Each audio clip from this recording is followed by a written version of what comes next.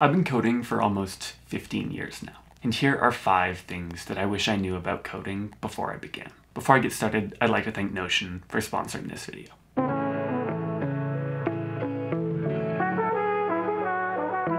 The first thing that I wish I knew is that learning never ends. So learning how to learn is the highest leverage thing that you can do as an engineer. A lot of people when they start writing code have this idea that eventually they'll be able to just sit down, not use any reference material, not Google anything, and just spit out code at the speed of thought. And when I was an intern, I thought this was true, and I was working with some amazing senior developers, and I realized that they were referencing documentation and searching things more often than I was, and they were getting much more done. And over the years, what I've realized is that learning is the most valuable skill that any engineer can have. Being able to look at a problem, break it down, and then search for how to solve it is immensely powerful. So learn how to learn and throw away this idea that eventually one day you'll know everything. That's just not true of software engineering. And ultimately, I wish that I knew this more when I had started out, rather than reading manuals or courses thinking that, okay, when I'm done this, I'll have a grasp on Python as a language. What you really should be doing is looking at problems, saying, hmm, I don't know how to do that, and then breaking it down and learning how to solve it. If you get really good at breaking down problems and learning how to solve them, you can do almost anything with software engineering. It's so cool. And so learning how to learn is the highest leverage thing that you can do as a coder. Speaking about learning, this is a great time to talk about the sponsor of this video, Notion. I've used Notion for many, many years. It's the primary place where I store all of my documents and all of my notes online. I've loved their core offering for a really long time, but in the past year, they've introduced some really amazing AI features that in my opinion have taken the product to the next level. Let me share with you an example of what they can do. So let's say that you find this piece of code online that you don't really understand how it works and it's not really a clear explanation. With Notion, you can copy that code into a code block and then ask Notion AI to explain it to you.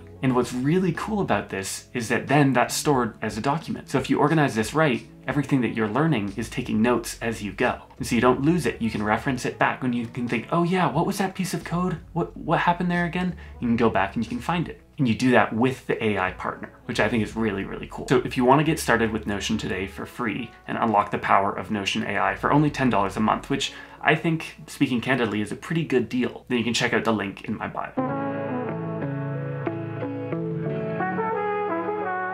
Lesson 2. Technology is always changing, so use the technology that has been battle tested. There's always something cutting edge that promises to solve all the problems of the previous popular language. And it gets really hot and it's really popular on Twitter and on YouTube and on social media and you think, hey, this is the way, this is the future. And then in about six months, you realize Ah, there's a reason they were doing it the way they did it before. That's not to say that we should all be using .NET.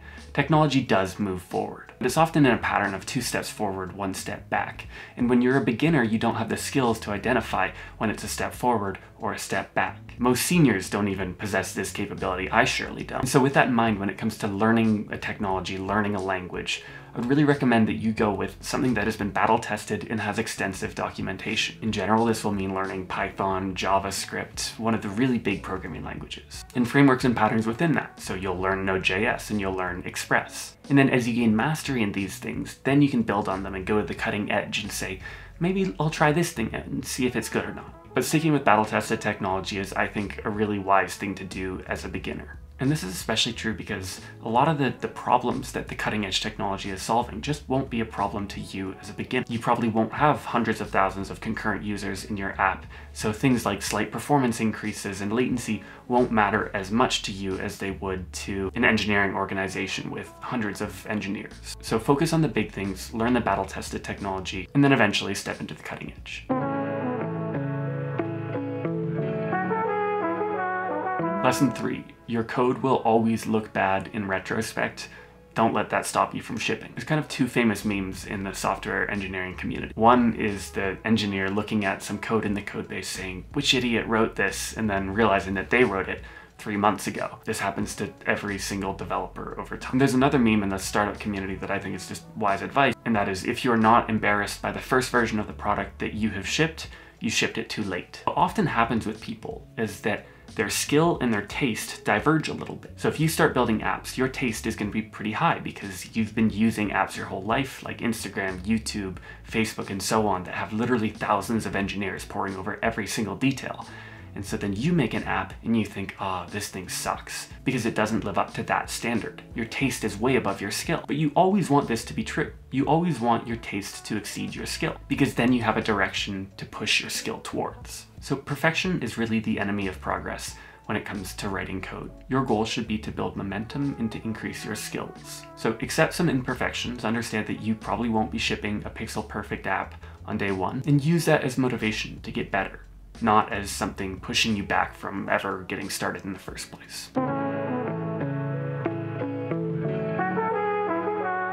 Lesson four is don't be defensive. Let other people roast your work. A lot of craftspeople associate their worth with the worth of their work.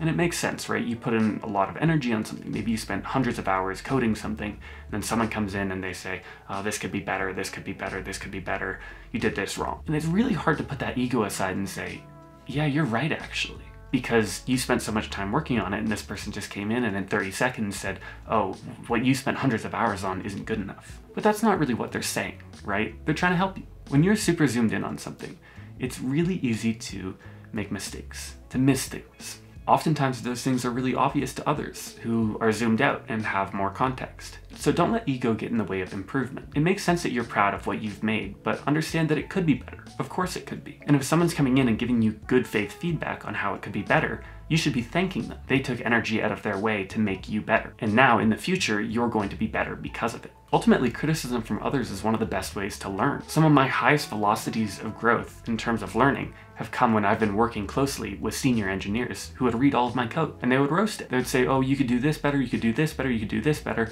and I wouldn't be allowed to merge my code in until I fixed it. I learned a ton doing this. And yeah, it's uncomfortable at first because you're like, oh, I'm a, I'm a good programmer, I know what I'm doing. Let me just put my code in here. But you realize that they're right and they're helping you and you're much better off because of it.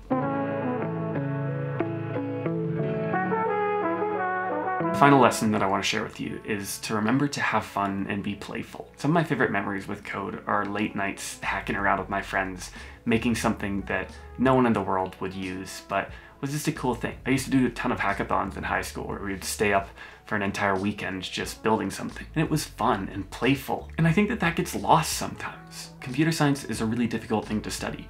Software engineering is a highly competitive field, but that doesn't mean that it has to be serious all of the time. Most of the great software that has ever been written has an element of fun and whimsy to it. Ultimately, if you're going to be at this for a long period of time, it needs to be sustainable. You need to enjoy your work. So make it fun. That doesn't mean that you should be messing around or doing stupid things, but coding shouldn't feel like a chore to you. It is creative problem solving, and you can put emphasis on the creative side sometimes. So those are five things that I wish that I had known when I was starting coding, but they're lessons that apply to me today still. I have to remind myself of these on an ongoing basis. So I hope that this helped you in some way. I hope you enjoyed this video. Feel free to subscribe if you did.